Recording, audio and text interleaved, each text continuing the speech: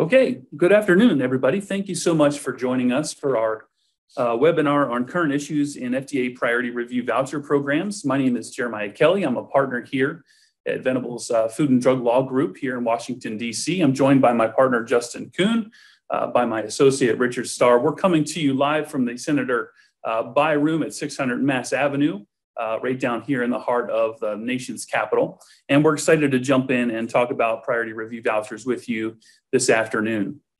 Um, most of uh, most of you guys understand, uh, you know, Venable is a pretty pretty large uh, full service law firm. We've got offices all across the country. Um, but what is uh, often um, an element, just to make sure folks are very clear about, is we actually have an incredibly robust life science team that includes really a powerhouse intellectual property group, a full service food and drug law group, uh, full capability in terms of um, commercialization and licensing. And uh, we can really bring to bear our, our capability for uh, our clients' full suite of legal needs, especially in the FDA regulated arena. Uh, as you know, FDA regulates a quarter of the US economy, and there's not any element of that uh, regulatory jurisdiction that our team does not cover. In particular, uh, Justin and I have come here to Venable just in the last six months from the Department of Defense, where I was the chief of the FDA Regulatory Law Division for the U.S. Army Medical Research and Development Command. Justin was our chief counsel for the Joint Program Executive Office for Chem Biodefense. So not only have we been doing uh, FDA regulated product development for a number of years, I had been in the commissioner's office at FDA. Justin had served in the Senate Finance Committee for a number of years.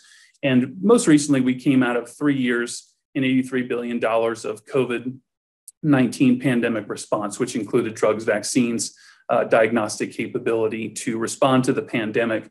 Really glad to have Richard, our associate here, joining us today, who's really got an incredible uh, regulatory acumen and breadth of experience, both in how FDA regulates medical products, but also where that crosses over into how FTC uh, regulates the advertising of those, uh, those regulated products. So that's the team before you here today. We're going to jump in substantively. And again, thanks for joining us. Here's our agenda. Um, I'll say that of all of the, the regulatory issues, um, there's just not a lot of food and drug law teams that have a experience with dealing with priority review vouchers. Uh, for many, it seems like this kind of esoteric, kind of strange uh, statutory creation uh, that is really, um, you know, not always part and parcel of a product development effort. So we're going to ask fundamental questions, answer fundamental questions about what is a priority review voucher or PRV. We're also going to spend some time looking at the current valuations of PRVs, what we're seeing in the marketplace as these PRVs are sold. And uh, as we'll get into, there are actually three statutory PRV programs for uh, tropical diseases, for rare pediatric diseases and for material threat medical countermeasures.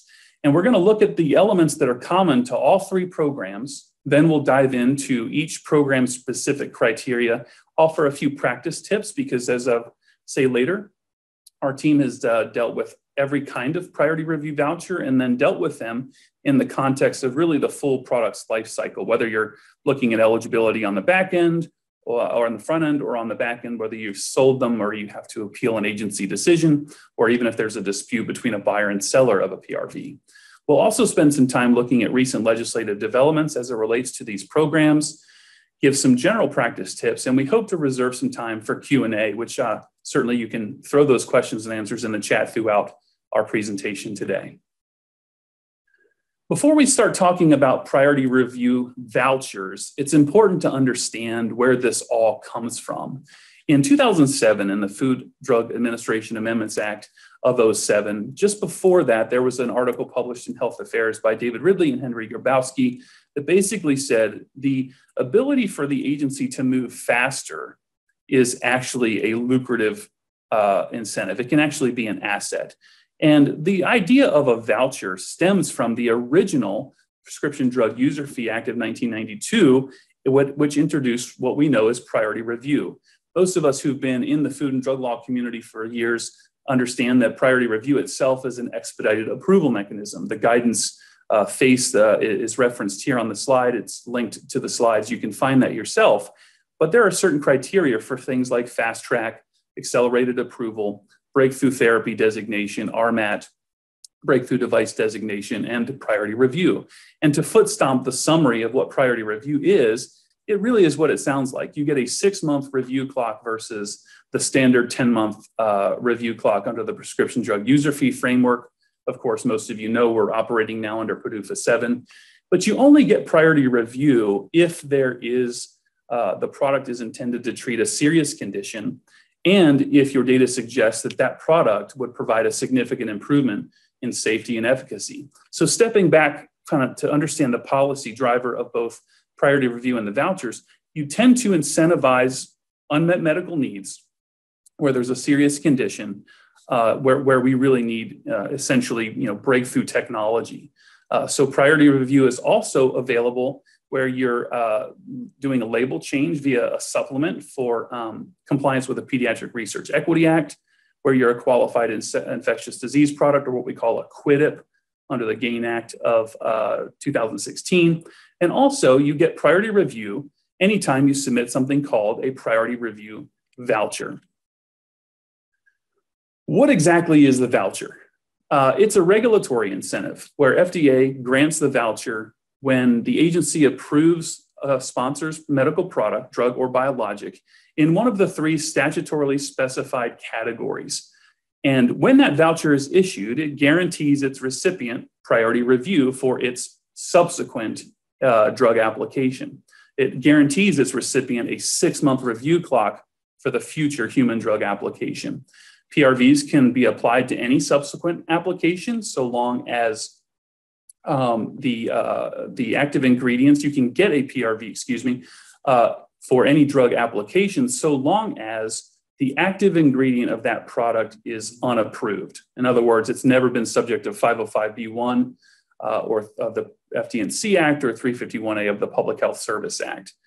Uh, and when you get a PRV, when the agency issues this uh, lucrative incentive, the sponsor has two options.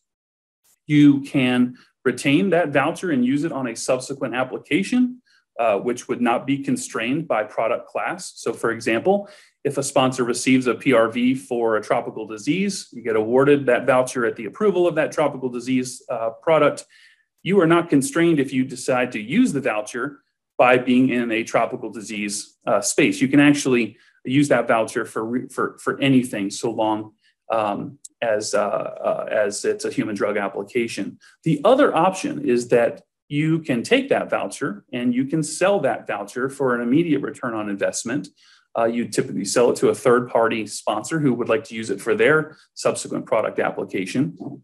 And that's really where we see the economic power for a lot of, uh, of product developers undertaking research and development. There have been about two dozen PRVs sold. The purchase prices range from $67 million to $350 million. And essentially, this is what we call a pool incentive. It's designed to incentivize research and development in these three statutory underserved uh, patient areas uh, so that we can actually see product development, see FDA approvals uh, for these underserved categories. And the ability to sell it, or even the ability to go faster at FDA, becomes a very powerful incentive. So it's pulling you through the FDA regulatory paradigm, as many of us are familiar with push pull incentives. Uh, I love it that our graphics team was able to kind of depict this uh, because if uh, we didn't have this, I'd probably I'd be on a whiteboard somewhere diagramming it. But this just depicts the two options that you have. If your drug or biologic is, is novel and it gets approved for one of the three uh, statutory PRV programs, you get the priority review voucher. Here it looks like it's a raffle ticket. Uh, we've made analogies to the Disney Fast Pass program. That's what it was back in my day with my kids. I think it's now called the Genie Plus program, where you pay a little extra when you go to Disney, but you get to go faster uh, to the head of the line. If you get this special PRV ticket, then again, you can keep it in your back pocket and your company can use it on a subsequent human drug application, or you can sell that PRV to uh, another firm. At this point, I'm going to turn it over to Justin to go over uh, what we're seeing in terms of the commercial value of PRVs. Thanks, Jeremiah. Now that the, the, uh, the first PRV program was enacted in 2007, so we have about 15 years worth of data. Um, and really what we've seen is, is there has been a market that's emerged, a secondary market for priority review vouchers. Um, and as you can see here, it's, it's basically the market is driven by supply of the vouchers and demand.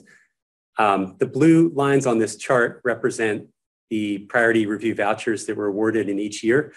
Um, so you can see starting in 2009 was the first uh, PRV award. Um, in recent years, the number has been between five and 10 vouchers. Uh, it looks like in 2023, we're, we're on track for somewhere, uh, somewhere in that range as well.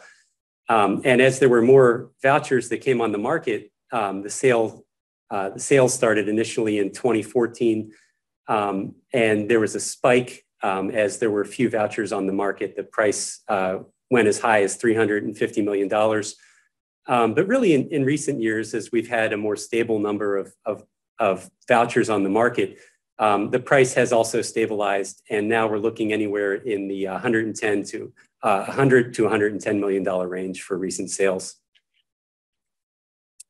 We've got some data here um, just on a few of the sales. Um, as Jeremiah mentioned, the lowest um, sale that occurred was actually the first one, the first voucher that was sold by BioMarin to Regeneron uh, back in 2014, sold for $67.5 million. Um, shortly after that, there were a couple of sales over $300 million, including the high water mark um, that uh, United Therapeutics Corp uh, sold, sold their voucher to AbbVie for $350 million uh, in 2015. Um, more recently, again, the, the numbers have been pretty consistent, right around 100 to 110 million dollars.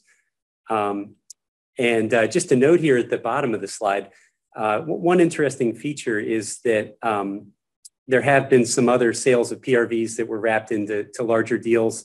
So for example, there was a sale that was announced earlier this summer um, where the PRV part of the deal was only $21 million, but it was part of a pre-existing license where there was other compensation.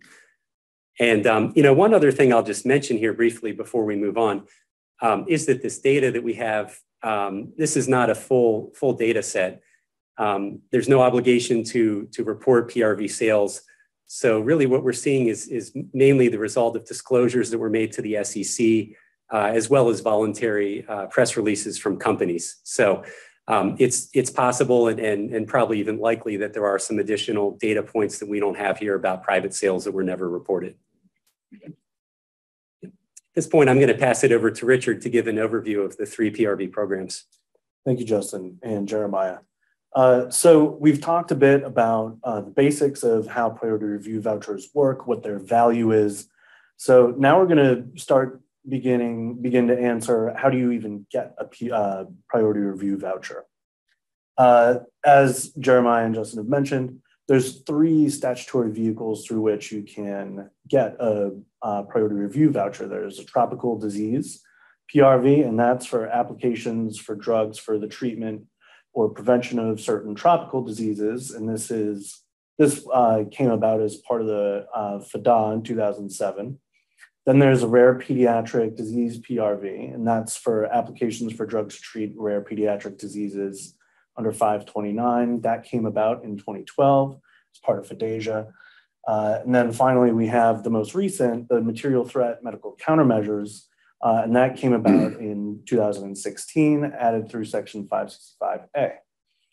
Uh, and one thing that I'll point out here is each of these uh, statutory programs is unique in their own right. And as you can see in the timeline here, uh, as more programs have been added, if you look, uh, think back to Justin's graph from before, you can see the increase in sales and additional number of PRVs available on the market, partially because over time, more statutory vehicles have been added.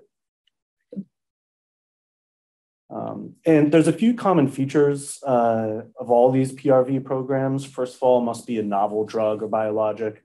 Uh, there's no eligibility for a particular disease for a PRV where the active moiety of the drug proposed or the active ingredient of the biologic proposed have been previously approved under 505B or 351. Uh, it also, of course, must be a human drug application. Uh, and for post enactment approval, each program only incentivizes approvals post enactment. And the key thing to remember here is there are really no guarantees. Eligibility for a priority review needs to be established. uh, uh, before you go through the approval process. Uh, and for all of this to work smoothly uh, in an ideal world, uh, companies first go through the process of establishing eligibility. The drug then needs to be approved to receive the PRV.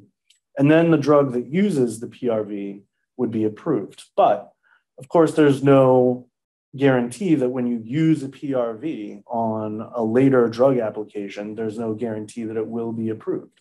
So there are plenty of cases where someone uses a PRV and doesn't actually end up getting the approval that they were looking for for that drug. Thus, you could call it wasting uh, a voucher in that example. Uh, and of, of course, PRVs are transferable by contract without limit. Uh, when you use a PRV, you need to give FDA notice uh, 90 days ahead of time before doing so. Uh, and there's also uh, user fees for the use of the PRV specifically, beyond just the PDUFA fees. And so these days, uh, the uh, the PRV user fee is specifically $1.52 million. This is, again, in addition to any PDUFA fees that you're already paying uh, that you would through any normal process. Uh, and I'll kick it back to Jeremiah here to talk about the tropical disease PRV program. Yeah, sure. Thanks, Richard. We're going to dive in now to each of the three statutory programs. I'm going to take tropical diseases. Richard will do rare pediatric diseases. And then Justin will uh, round us out here with material threat medical countermeasures. It's important to remember that this was actually the very first program. The tropical disease PRV program comes from the Food Drug Administration Amendments Act of 07, where the predominant concerns really were drug safety. If you guys remember, that was where you got uh, REMS and post market commitments and uh, safety label change authority. Buried in that statute was this very innovative incentive called a priority review voucher. Uh, I'm not sure everybody knew what it was at the time. Um, but but basically, the, the nice thing about this particular program as compared to the other two is that the tropical disease PRV program is permanent. There's no sunset provision in uh, the statute at 21 USC 360N.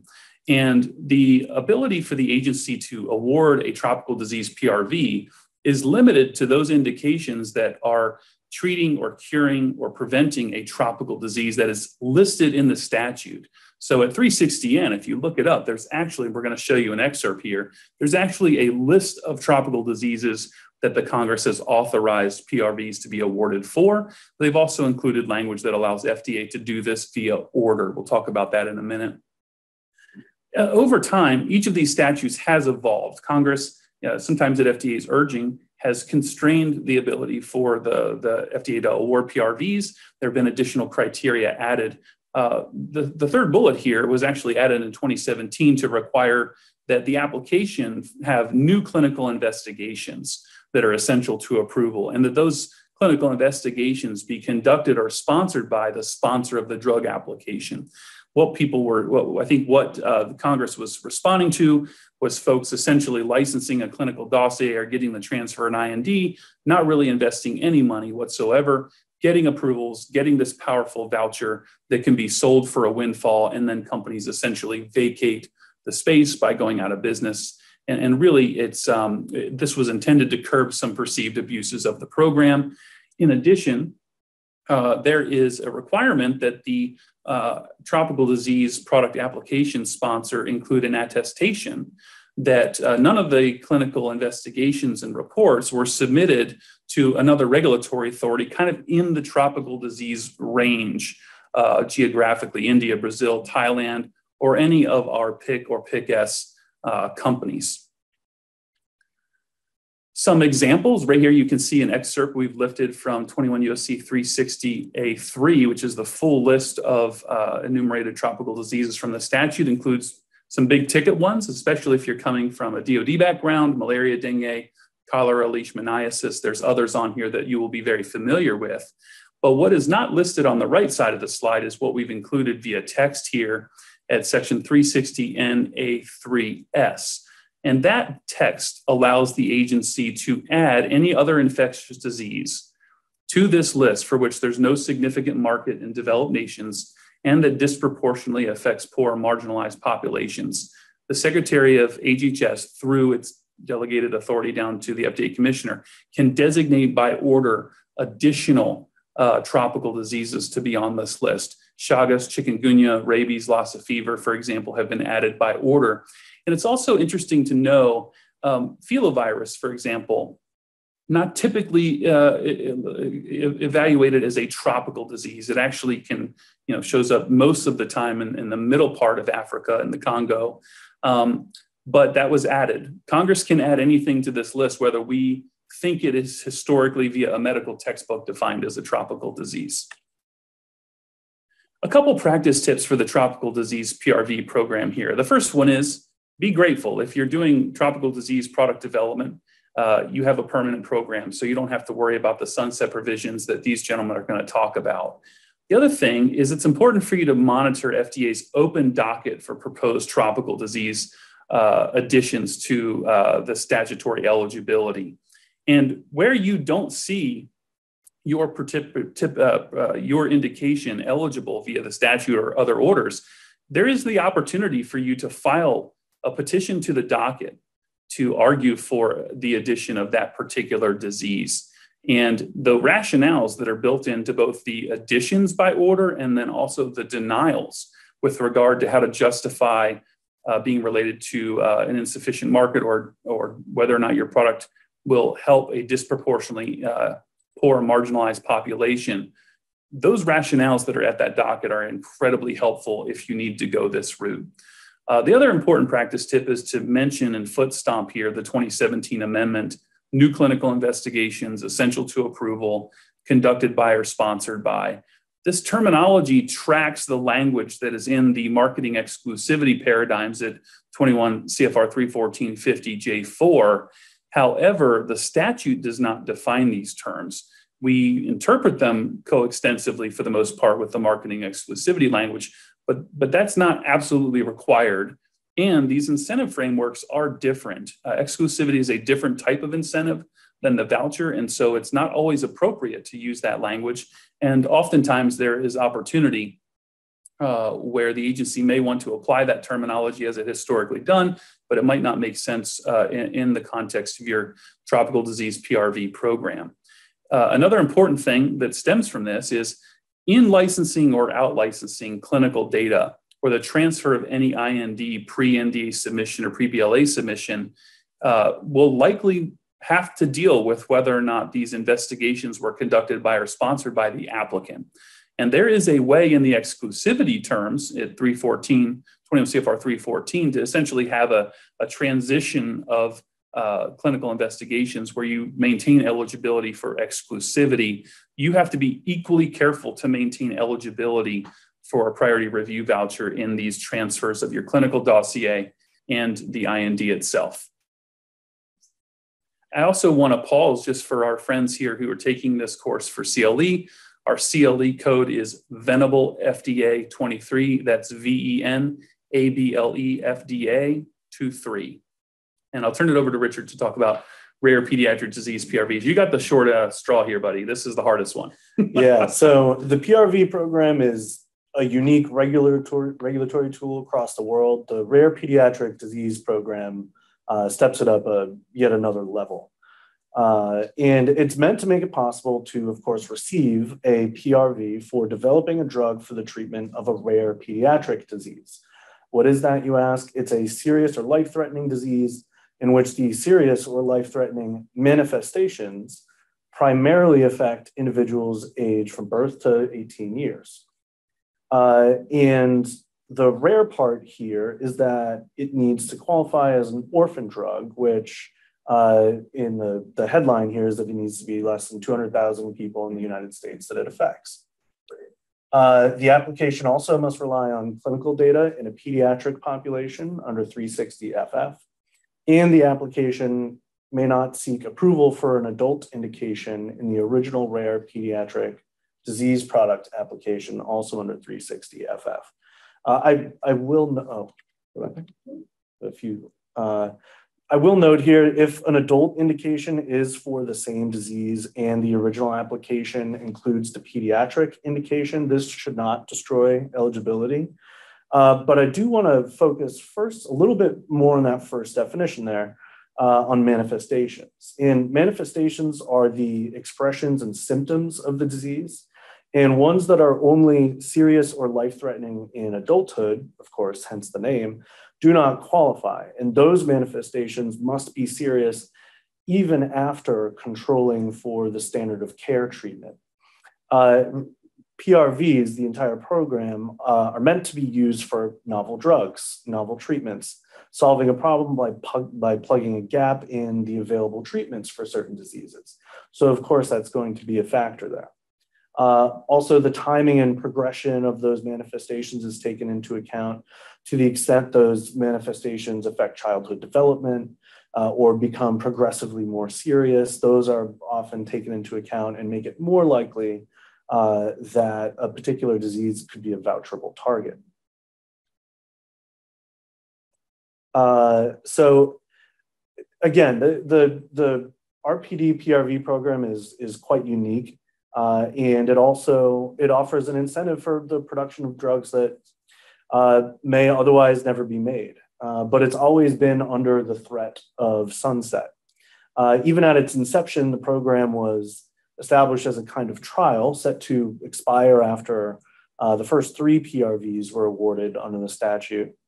Uh, but over time, Congress has uh, continued the program not on the basis of the number of PRVs awarded, but uh, via time extensions, typically uh, by four years at a time.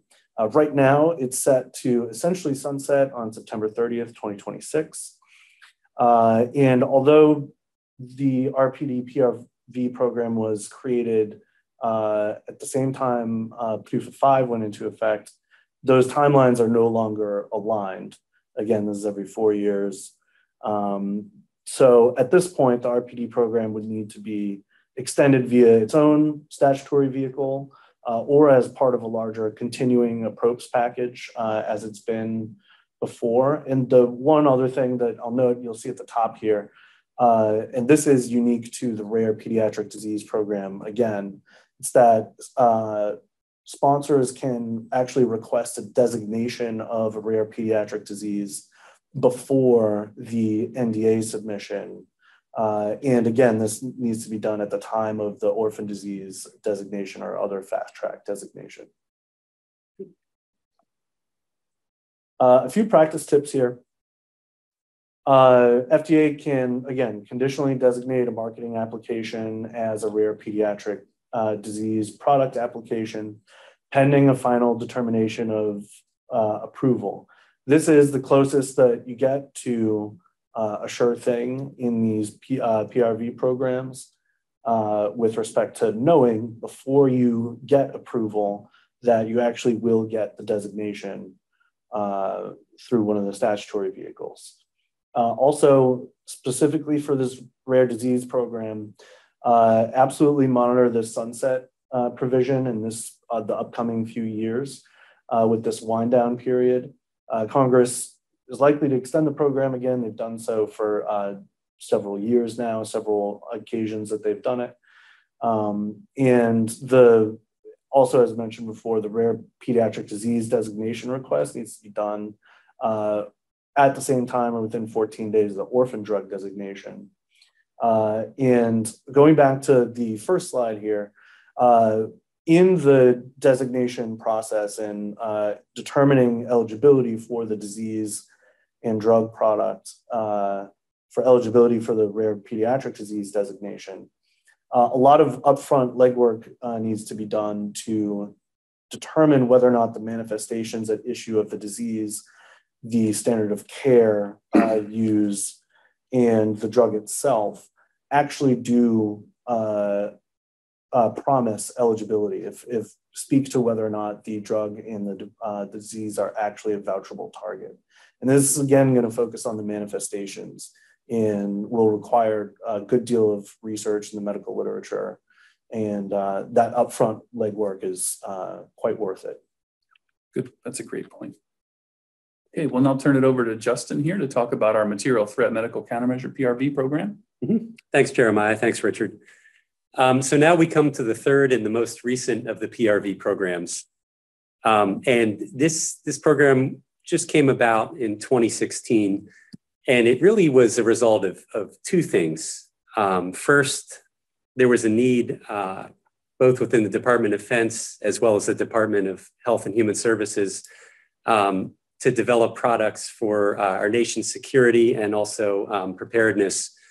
Um, and, and like the other two PRV areas, um, those are products where there isn't much of a return in the commercial market. Um, oftentimes, the only sales of these products are to government agencies, um, typically small quantities, and that's a very difficult business model um, and becomes difficult to justify investment among other opportunities. Um, so based on the, the, the, success of the other PRV programs, um, our team was actually uh, involved with and instrumental with drafting this legislation that became of the part of the 21st Century Cures Act. Jeremiah in particular um, was, was a key part of drafting that legislation. Um, and what this program does is it is establishes a similar incentive for material threat medical countermeasures. Um, and so I'm just going to give a little background here first about what's eligible for the PRV. As the name indicates, uh, the, the, the target here is um, products that prevent or treat harm from biological, chemi chemical, radiological, or nuclear threats. Um, and, and that's really kind of the crux of it. So you're looking at those CBRN threats, they're also known as CBRN threats, um, which are defined under the Public Health Service Act, Section 319F. Now, one of the, the catches with the way that the current statute is drafted is that the threat list, the list of eligible threats for the Material Threat Medical Countermeasure PRV program, is actually maintained by the Department of Homeland Security. And there's a process that's laid out in the statute whereby the, the DHS secretary will consult with the secretary of HHS and other agencies. Um, and it's a very, it's an assessment based on ongoing security needs in the C, CBRN space. Um, and really, the, the focus is on uh, the agents, the threat agents that pose a material threat to national security. Um, we'll talk about this a little bit more in a minute, but one of the issues with the current statute is that that threat list that's compiled by DHS is not necessarily coextensive with the threats, particularly that face the Department of Defense. Um, and and many of the threats that that DoD faces over shores or uh, is are unique threats that are not necessarily here in the United States. So um, those threats may not currently be eligible to receive a, a priority review voucher, and that's one of the things that again we'll come back to that in a moment. So unlike the, the tropical disease PRV uh, program, the material threat medical countermeasure PRV program does have a statutory end date, which is coming up very soon. In fact, it's within the next two months. Uh, if there's no congressional action, uh, this program will sunset as of October 1st of 2023. Um, so another, uh, another difference with the, the tropical threat PRV program, uh, sorry, between the tropical disease PRV program and the material threat PRV program, there's no public list here. Um, so, so really companies that are seeking to develop countermeasures in the space are at somewhat of an information deficit. Um, really the best resource that we have, the best public resource is a list that's compiled by the Public Health Emergency Medical Countermeasure Enterprise, which is a mouthful. Hmm. so we'll just call it PHEMCE. um, but PHEMCE will periodically compile uh, and prepare a strategic uh, report, um, which was last updated in 2022. Uh, and in a moment, I'll show you the current list, but there is a list in that report, which is about as close as you're going to get to, um, to a list of eligible um, targets under this PRV program. And then finally, one feature of the current statute uh, in the 21st Century Cures Act is that GAO was required to do a study of all PRV programs to look at the de uh, drug development impact. Um, and uh, this study was published in 2020. Uh, and I think in, in many respects, it actually was a very good study. There's some good analysis there of the number of, of PRVs that were awarded, um, sales data, uh, information about the timing between the time of when a PRV is awarded and when it was ultimately redeemed. Um, but really, one of the limitations in this study is it didn't take into account um, feedback from, from the whole government um, and, and particularly the DoD um, was not consulted in preparation of the study. So there wasn't really any um, any discussion of how effective this program might be for DoD purposes.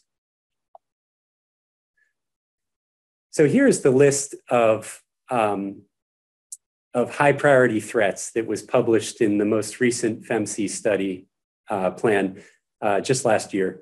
Um, and a, a, few notes here right off the top. So you can see um, this list is broken down into three categories. Uh, first, you have biological threats, which is the biggest category. Then you have chemical threats. And then the third category is radiological and nuclear threats, which are kind of lumped together under a single entry there. Um, it might be hard to see, but there are some items here that have a star next to them. And those are the items that, according to this PHEMCE report, um, actually have a corresponding material threat determination. And that is what makes these specific threats eligible for a PRV. Now, part of the difficulty here is that the material threat determinations are not necessarily publicly available. So um, if you're relying on this list, there is uh, some amount of trust in the accuracy uh, of, of the list, and you may not be able to verify everything that's on here independently. One entry that I do want to specifically mention here, um, which is interesting, is the emerging infectious diseases entry. It's under biological threats, the last, last item in the left column. Um, and first off, that, that, that entry does not have a star in and of itself. Um, but it is kind of a broader category. And you also see pandemic influenzas up there. Those are actually kind of broader categories that can capture multiple threats. Um, and really, the effect here is to, to evidence a policy decision that emerging infectious diseases are part of the material threat countermeasure PRV program. They can be eligible. Um, and, and so there's a process um, to go to DHS to get new threats uh, added, which I'll talk about in a moment. Um, but that has actually happened in, in the past. And actually, the most recent example is COVID 19, which was added as an emerging infectious disease uh, and became eligible for uh, material threat medical countermeasure PRVs. Um, the first one that we saw awarded there was for remdesivir uh, back at the very end of 2020. So, um, so anyway, that's that's an example. That's a category where there is potential to add additional threats based on the existing breadth of the program. So now I'm going to turn to a few practice tips here. Um, and you know, the first, the very first thing is just to monitor the activity about the sunset here. Um, I'll give a legislative update in a moment, but but just be aware if you're developing a product in this space, this program right now is, is on life support in its final days, which could change. Um, the other thing that you'll want to do is to keep a close eye on the PHEMCE strategy um, and just, just be aware when there are subsequent reports that are published, take a look and see if the list has changed. Um, we are, I think our working assumption is that there will be the same framework going forward if the program continues. So that PHEMCE report is going to continue to have a lot of importance. Um, and, and kind of alongside of that, um, I'm jumping down to the bottom of the slide here if you're following along. But there is a means to get um, new threats added. And really, that means is to work administratively through the agencies. Ultimately, it's a determination of the DHS secretary. But you want to work with the Department of Defense, Department of Health and Human Services. Um, and, and that's kind of the right way to, to build support to add um, new threats to those lists. And you know, finally, one other thing I can add here is there are various lists of, of threats within the government. Um, the PHEMCE list is really the best one for this program, but there is also a, a list that's maintained by NIAID, um, which has category A and B pathogens. Uh, there is some overlap there between the lists. And uh, again, you know, that's evidence of, of the, the threats that these other, um, these other agents um, pose to national security and, and would support potential inclusion of some of those threats uh, on a future PHEMCE list. So um, as I mentioned, uh, really this, this PRV is about to expire. Um, if it does expire, there's a couple of negative consequences. I'll just mention these briefly. Um, so looking forward, um, the future development for products that would be eligible, um, re really the incentive goes away. So we would expect to see uh, some, some sponsors who are making hard decisions about which projects to fund um, which targets to go after. Um, if this incentive is gone, uh, some of that money may move elsewhere. And then for current um, MCM developments, uh, there also is potential for a negative consequence if, if those, those sponsors are not able to get a PRV before the sunset. Um, it, it, that could affect uh, funding decisions about continued um, development of the products. So it would be unfortunate to see some of those, those, those promising products that are midstream go away, but uh, unfortunately, that is also a possibility. Um, so with this, with this need for legislative action does bring some opportunities here. And, and, and this is really the silver lining is that now that we've had um, seven years with this program, uh, we do see some opportunities for improvement. So the first, um, the first potential uh, improvement here is to make the program permanent. This, um, as you can see on the tropical disease side, a permanent program is really the best incentive and it provides the most security as companies are making long-term decisions, uh, particularly since the, the path, pathway to licensure is, is somewhere typically between 10 and 15 years for many of these products, um, especially given the, the need for animal rule development for, for these uh, products. Um, the second opportunity that we see would be just simply to have a publicly available list. And, and that would just give uh, interested companies information so that they can get a better read on whether their product is going to be eligible for PRV. And finally, due to the unique needs of DoD, um, we would just recommend that, that any legislation here include the opportunity for DoD to participate in some fashion in compiling the list. Um, it, direct participation is really the best way to ensure that those needs that protect our soldiers are going to be eligible for PRVs. So on the legislative front, um, we have seen, the good news is we have seen some action recently on a couple of, uh, a couple of, coming from a couple of directions. Um, first off, the Department of Defense had sponsored legislation that was included in each of the last two National Defense Authorization Act bills. Uh, in last year's uh, bill, the FY23 NDAA, um, there was a, a pretty comprehensive um, proposal to that would have extended the program for six years made the list publicly available and then also included DoD participation. Um, that, that proposal made it far enough, it was officially adopted by the administration um, and it had the, uh, the consent of the FDA to move forward. Unfortunately, it did not make it into the final NDAA bill that was signed into law in December. So um, based on the, the DoD's continuing need, they, they went ahead, they put this a similar proposal in this year's NDAA bill. Um, however, that one's really just a skinny extension for six years. So that bill is still um, still active. It's still still viable. Um, I think there is some question about uh, the willingness of the House Armed Services Committee and the Senate Armed Services Committee to take up that legislation. Um, one of the, the roadblocks here is just that that um, this is an amendment to the Food, Drug, and Cosmetic Act, which is really outside of the comfort zone of the defense committees and their usual jurisdiction. So there are kind of some jurisdictional issues there to work through on the Hill. Um, probably the better news is that we have seen a couple of other proposals recently. Um, the first uh, came this spring from Senator Ernst, which was similar. It was a more comprehensive package similar to the, the fiscal 23 NDA proposal.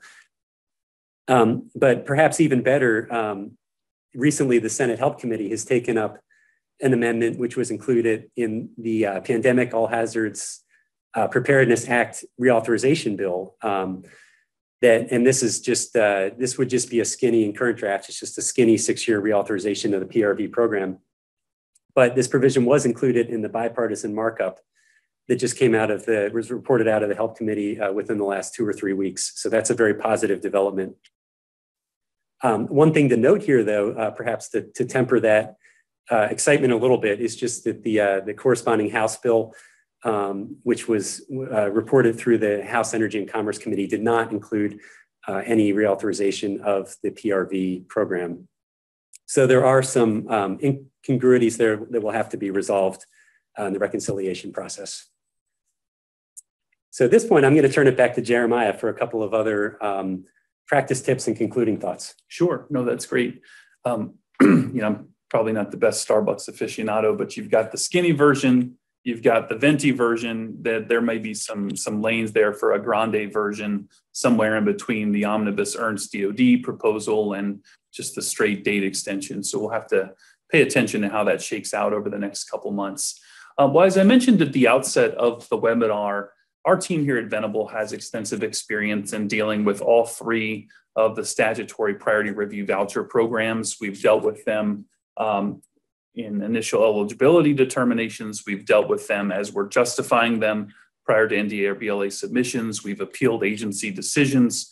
Uh, we have counseled and helped facilitate the sale and auction of, of all types of vouchers. We have also helped firms uh, resolve conflicts related to the sale of the vouchers. We've in, you know uh, helped draft language for inclusion in uh, voucher sales and agreements on voucher splits within license agreements and uh, all manner of things. And so there are a few things that I think it's worth mentioning uh, in terms of practice tips that uh, probably just be helpful for everybody.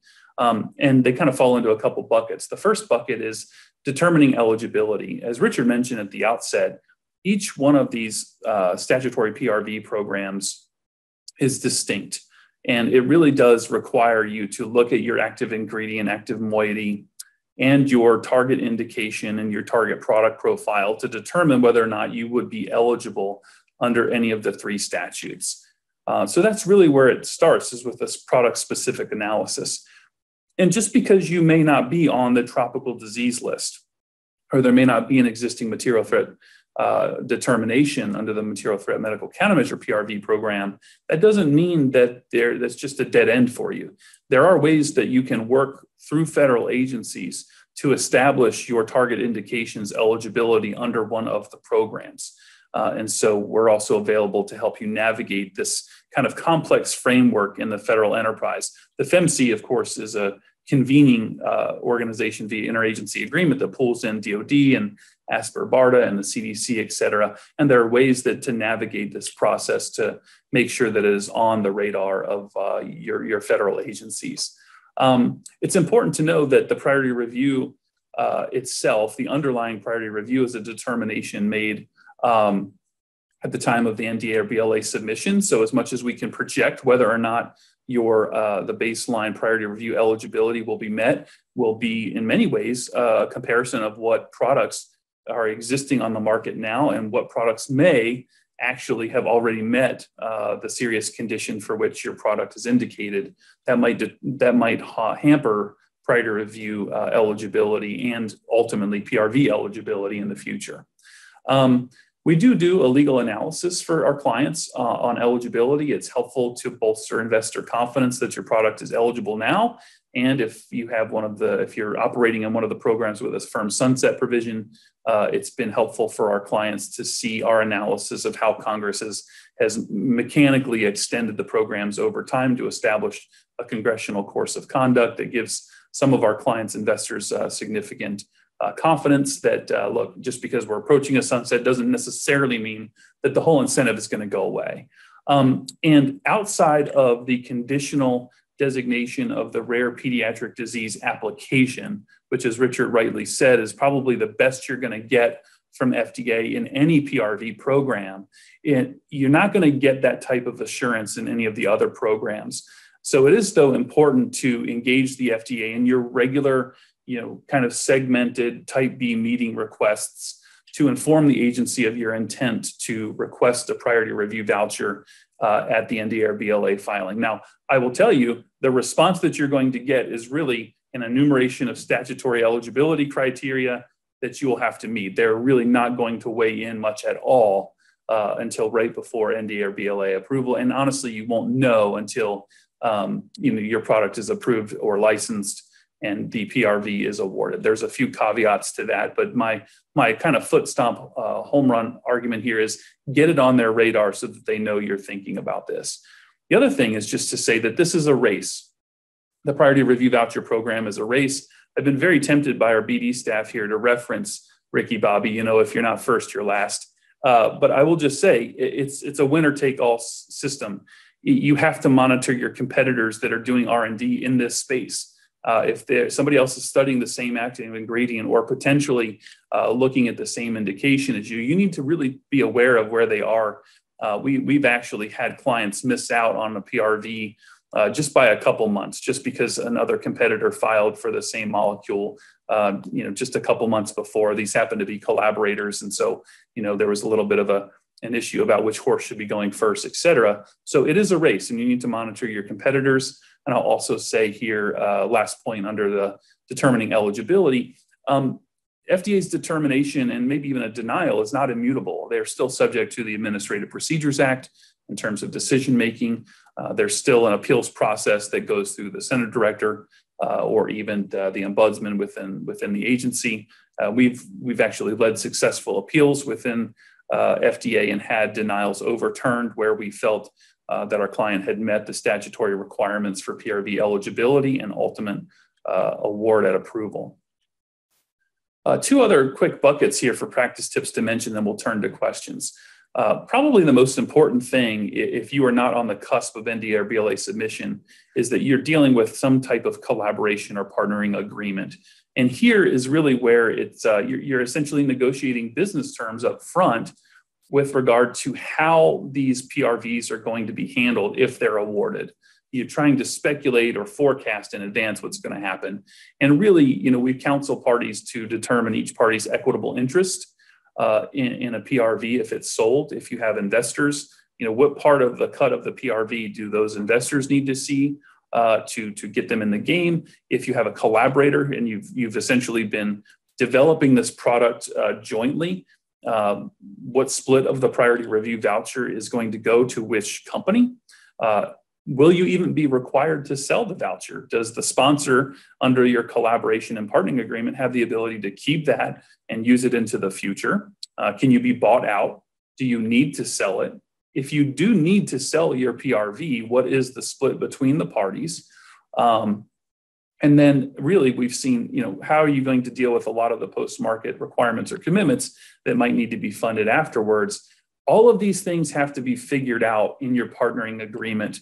Sometimes a decade before you're going to get the priority review voucher honestly so we have been brought in many times to help companies you know negotiate through these various uh, complex considerations in, in the context of partnering agreements in addition sale or auction um, it's important if you are selling your priority review voucher to monitor the valuation of those vouchers on the market and identify the optimal market time. You won't see them sold more than about six months apart, most likely.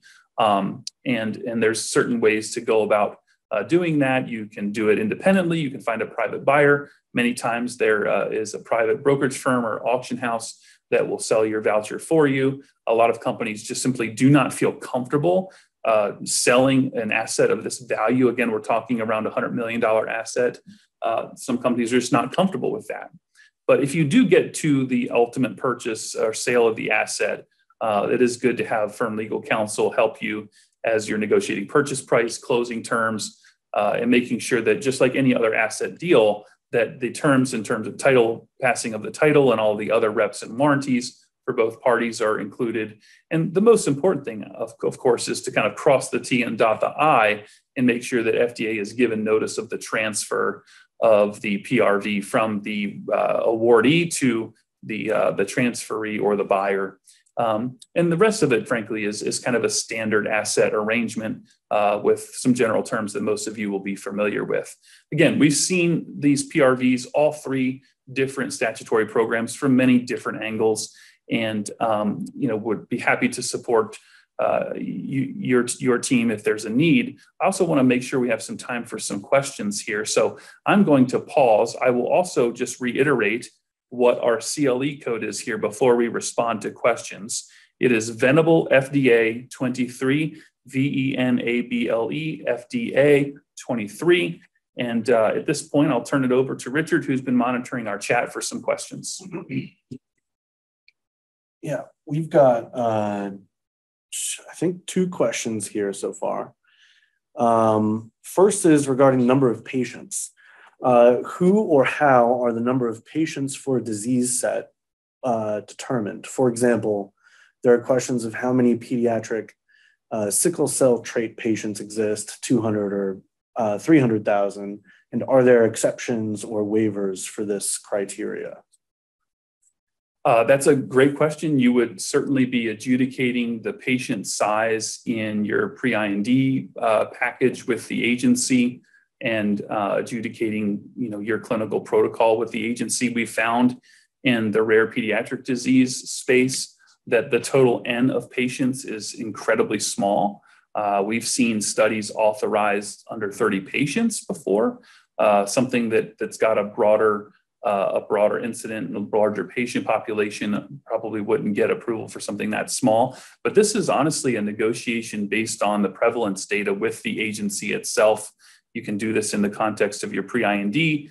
Uh, it'll most likely come out and emerge from your orphan drug designation and your rare pediatric disease designation.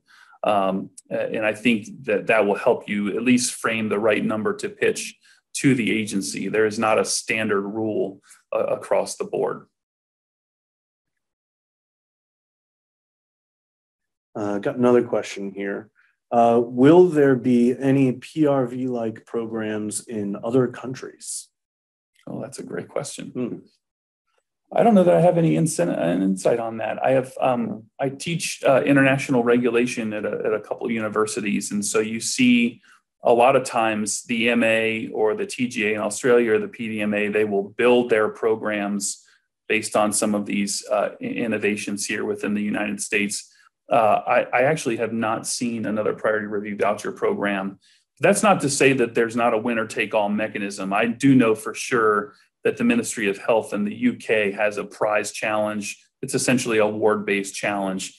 So to say that other countries don't have pull incentives, that would not be accurate. There is exclusivity uh, that is protective for new new chemical entities elsewhere. There are prize challenges that are issued in these spaces uh, at the EMA and the Ministry of Health in the UK, uh, and there are analogous programs. It might not be a PRV program, uh, which is again a six month review versus ten month review clock. But I am tracking that there are significant pull incentives offered.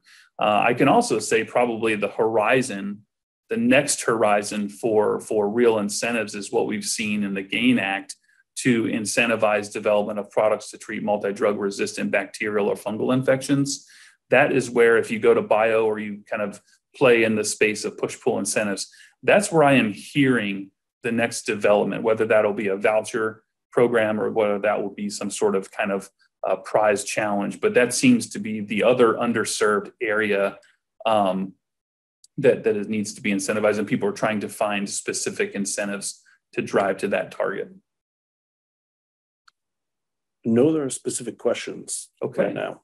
Well that's wonderful. Well listen any closing comments from the panel here? No.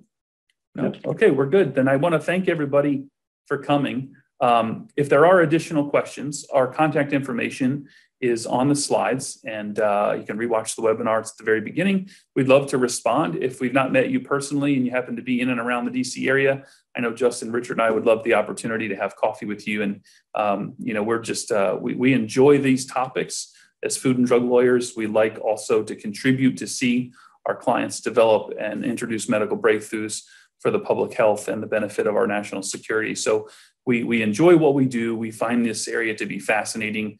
We wish all of you the very best as you are in this space and trying to navigate the complexities of PRV uh, awards and statutory programs. And we're here for you if you have any need whatsoever. Thank you again for coming today.